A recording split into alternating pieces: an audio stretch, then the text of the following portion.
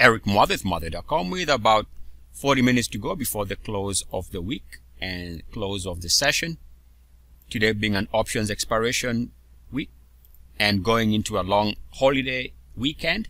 Let's take a look here and markets are trading, let's call it about one point change percent to the upside in what has been a very successful week for the general market.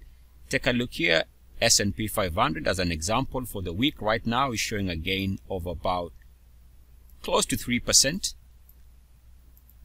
and what is now four weeks of back-to-back -back gains in the market which is exactly what the bulls were crying for and did get out of the market after this recent market drop.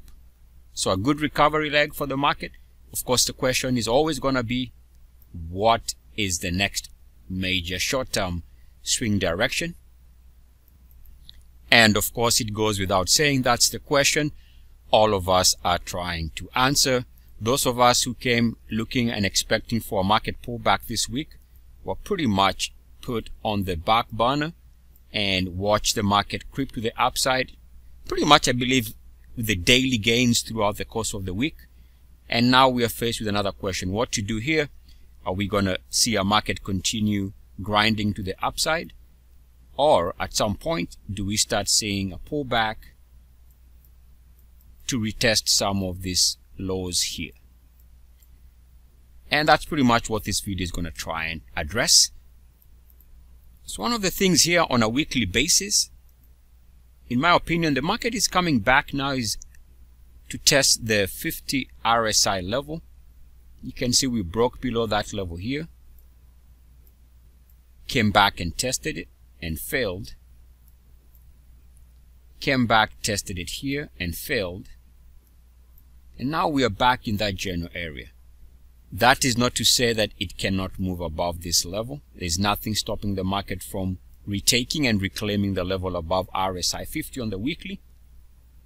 But we also know that if this happens to be another area of resistance then now we are looking for a market that is going to be on a pullback mode to test some of these lows here on a weekly intraday basis.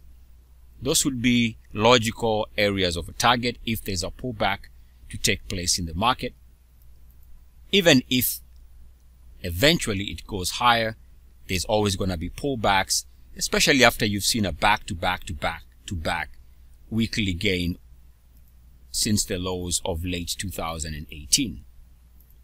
If you go back to the weekly highs here, remember we had observed that there was a stall point and a rejection at the 69.1 level.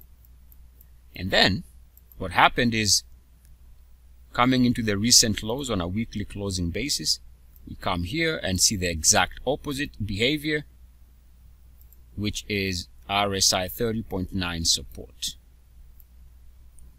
And it is my belief now we are back to test oops, the 50 RSI level, which is going to determine the next meaningful direction.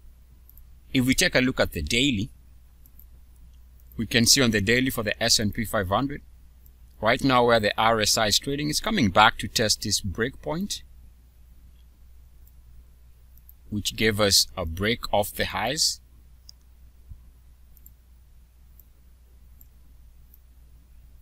this area was tested and failed tested and failed and now we are coming here.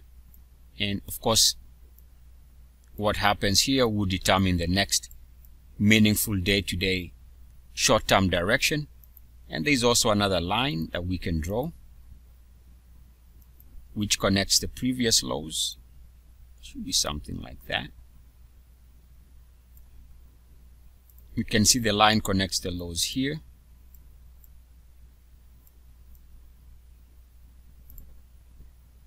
And here we see a break of the highs there.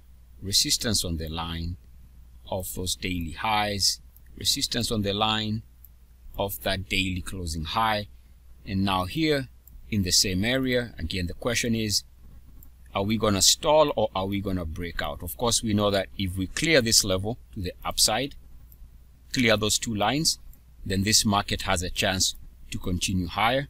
And we also know that day to day, should we stall around here, then that would suggest again that there is a possibility, good odds, that the market is going to have to pull back day to day to test some of these lows that it's been making along the way.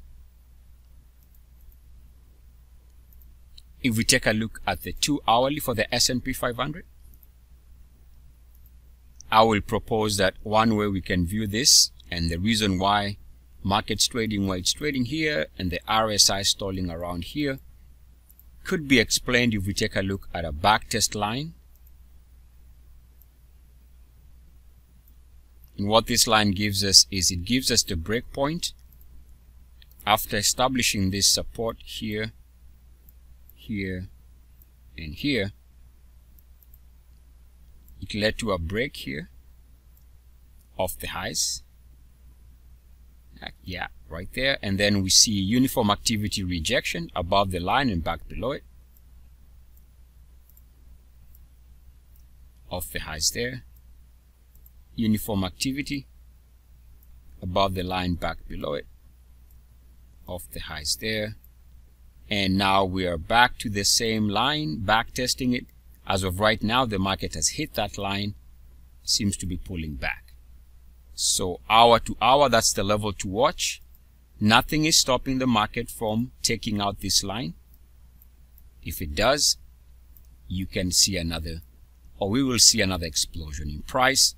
If this turns out to be the resistance area where the market is unable to recapture the level above the blue line, then we are going to start drifting lower.